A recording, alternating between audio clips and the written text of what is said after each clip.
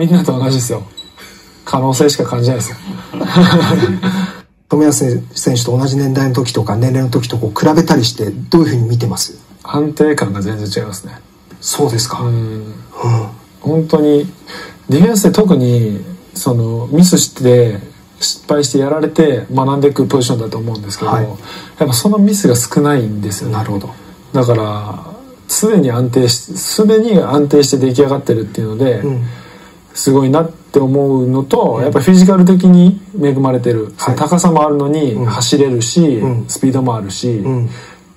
こう現代フットボールに必要なディフェンスの要素をもうね、はい、兼ね揃えてて、まあ僕なんかもやっぱりあの若い時大きくて、はい、競り合いは強かったんですけどやっぱボールの扱うとこだったり、うん、裏への抜けら抜け出されたとこだったりっていうのはやっぱ難があったし、はい、そういう意味では弱点が少ないっていうのは素晴らしいですね。うん